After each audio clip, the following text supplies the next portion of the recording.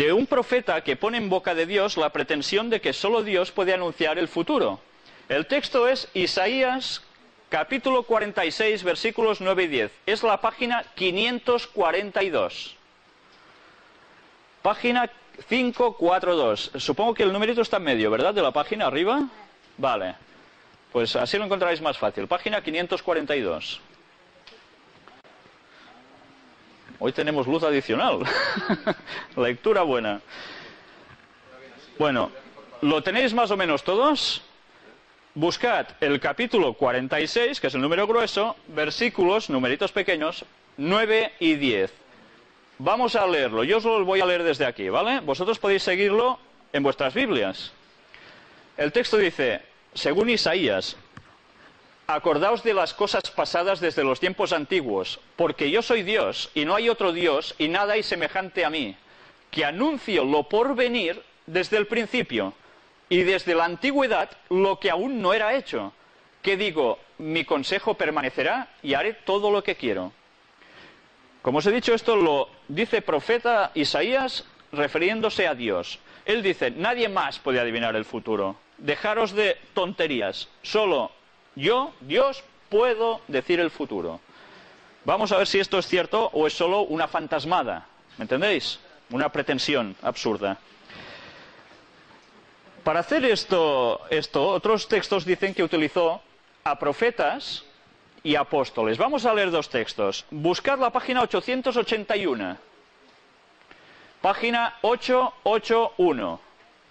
El libro se llama Hebreos y el capítulo 1, versículo 1.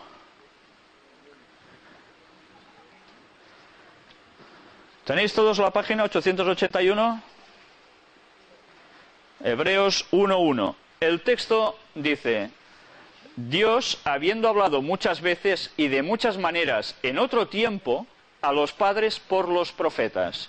¿Veis? Los profetas eran los utilizados, dice Dios, para dar su mensaje. Pero ¿quién más aparte de profetas en la antigüedad? Buscad otra página, la 870. Estamos poniendo unas bases antes de adentrarnos de lleno en la profecía, ¿vale? El libro se llama Primera de Tesalonicenses, capítulo 2, versículo 13. Página 870. Y aquí nos dice, por lo cual también nosotros, sin cesar, damos gracias a Dios de que cuando recibisteis la palabra de Dios que oísteis de nosotros, la recibisteis no como palabra de hombres, sino según es en verdad la palabra de Dios, la cual actúa en vosotros los creyentes. Quien estaba escribiendo aquí era el apóstol Pablo. Por tanto, ¿a quién se utilizaba? Pues a profetas y apóstoles, los discípulos de Jesús, ¿entendéis? Discípulos y otro apóstol como era Pablo, que no era uno de los doce que tenían su séquito. Pues como ya hemos puesto un poco las bases, vamos a decir un texto que aún puede parecer más una solemne tontería. Luego tendremos que comprobar si esto es cierto o no.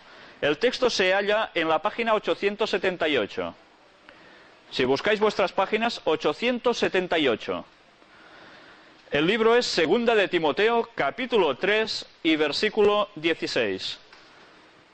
Si, si no cabéis atrás, podéis iros a posentándoos como queráis tranquilamente, sin ninguna vergüenza. Este texto dice, toda la escritura, refiriéndose a toda la Biblia, es inspirada por Dios y útil para enseñar, para redarguir, para corregir, para instruir en justicia. O sea que cuando estamos hablando teóricamente de un escrito profético bíblico, es inspirado por Dios todo, entero. No es un invento de nadie. Esta es la pretensión de estos profetas y estos apóstoles. Hoy tendremos que comprobar si esto es cierto, ¿vale? Y ahora ya empezaremos de lleno con la primera profecía que vamos a tratar hoy. La primera profecía es referente a Babilonia. ¿Todos conocéis que llamado Babilonia? ¿Una ciudad también? ¿Sí? Vale. Bueno, aquí hay una ilustración. ¿Sabéis que Babilonia se hizo famosa en el mundo antiguo por ser una de las siete maravillas del mundo, en el cual precisamente había los jardines colgantes. Yo exactamente no sé cómo eran. Los pintores lo recrean como se imaginan que sería, porque no hay ninguna prueba gráfica de ello. Eh, ¿Alguien ha estado en Babilonia, en la ciudad de Babilonia? No. Pero, ¿verdad que habéis visto alguna foto de Babilonia, algún reportaje? Cuando hubo la guerra en Irak, que es donde está situada la antigua Babilonia, se hablaba, incluso se veían imágenes de los soldados acercándose por esos sitios. Pero yo no sé si vosotros visteis algún sitio así, perfecto, con sus arboledas. Yo no lo he visto.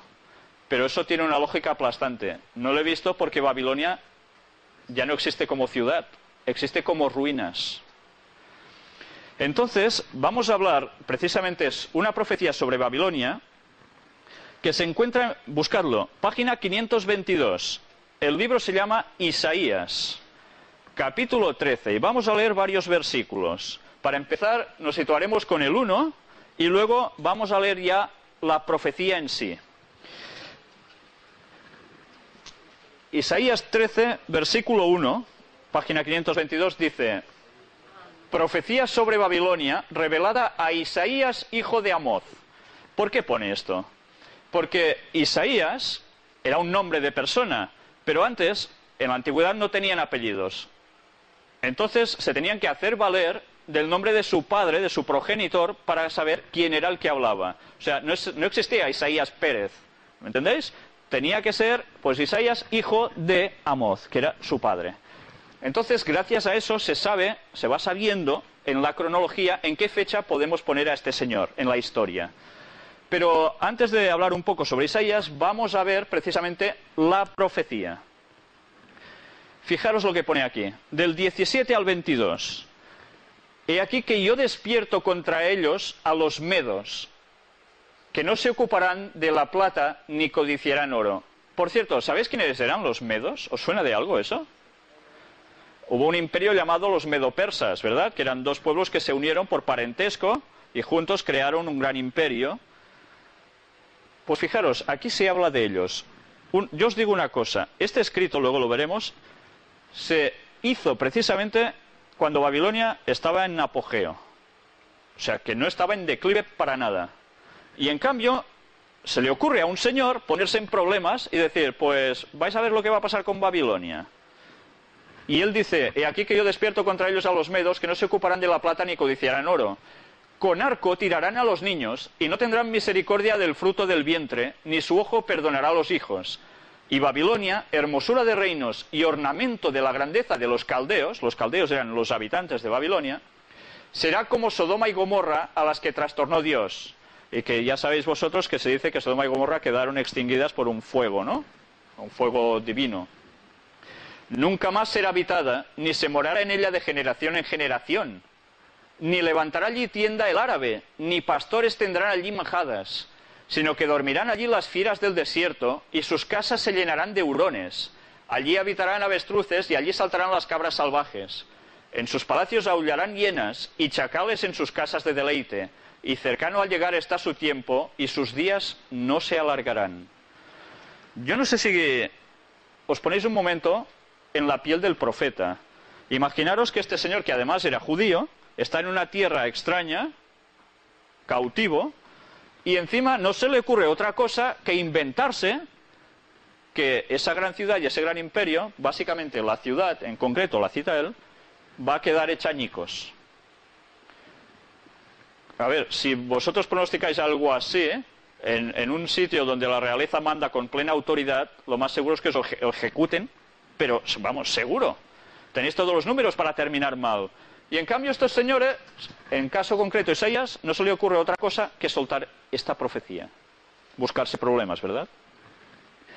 Pues bueno, vamos a ver una cosa. Isaías, bueno, esto no era su foto, porque en esos tiempos no habían cámaras fotográficas, estos son, son cuadros. Isaías vivió entre los años 740 al 701 antes de Cristo. Fijaros que estamos hablando de muchos años. ¿Y sabéis cuándo cayó Babilonia? ¿En qué año? 538 antes de Cristo. Fijaros qué margen de diferencia entre el momento en que el profeta pronostica y el hecho pasa. Pero cuidado, él anunció el hecho, pero anunció muchos detalles concernientes a ese hecho, detalles que se tendrían que cumplir sobre esa profecía. Si cogemos un poco de historia, los medos, precisamente, fueron los que se levantaron contra Babilonia. En la próxima reunión incluso vamos a tratar en profundidad cómo hicieron el tomar Babilonia, porque es bastante interesante. Y ahora yo quiero contaros un relato de qué encontraron los arqueólogos cuando llegaron a las ruinas de Babilonia. Pues se encontraron precisamente con el problema de que los trabajadores árabes no se querían acercar allí. ¿Sabéis por qué? Pues porque la llamaban, yo no sé si lo pronuncio bien, vosotros me corregiréis, Mutgelibe. ¿Es correcto? Seguro que no, mire, pronunciado por mí seguro que no. Bueno, que traducido es la derrocada, o sea, es derrumbada totalmente. ¿Y por qué no se querían acercar allí? Este señor era un asiriólogo llamado Layard. Después de visitar el emplazamiento de Babilonia en el año 1845, hizo una descripción detallada entre la que se encuentran los siguientes párrafos. Esto es lo que escribe este señor. Y recordad mientras leemos esto lo que habéis leído en vuestros textos, ¿vale? 1845 escribe, montones informes de escombros cubren por muchas hectáreas la superficie del terreno. Por todas partes se ven fragmentos de cristal, mármol, cerámica y ladrillos con inscripciones, mezclados con aquel suelo salitroso y blanquecino, originados por los restos de antiguas moradas y que impide y destruye la vegetación, haciendo del sitio de Babilonia un lugar desolado y un horrible desierto. Los búhos, los cuales son de una variedad grande y gris y se hallan a menudo en grandes bandadas, surgen de los escasos matorrales y el inmundo chacal acecha entre los surcos. El montículo estaba lleno de grandes huecos. Penetramos en algunos de ellos y los hallamos llenos de osamentas y de huesos de animales recién devorados. Un olor inmundo e intolerable salía de aquellos restos repugnantes, así como de las galerías convertidas en cavernas de fieras que se habían abierto paso a las galerías por la parte superior del montículo.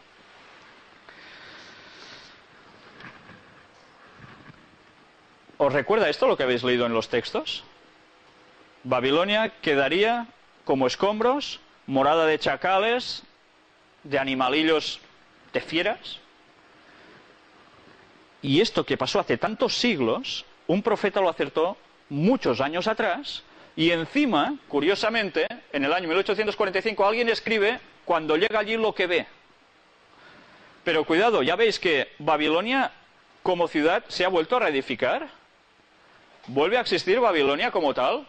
No, sigue habiendo las ruinas. El texto decía que nadie más va a vivir allí. O sea que si a vosotros ahora se os ocurre ir y poner eh, allí vuestra casita, vais a tirar esta profecía por tierra. Yo me pregunto, ¿por qué después de tantos años aún nadie lo ha hecho? La profecía, si es cierta, se va a seguir cumpliendo. ¿Entendéis? ¿Vosotros seríais capaces de hacer un pronóstico con esta precisión absoluta? Yo no. Si vosotros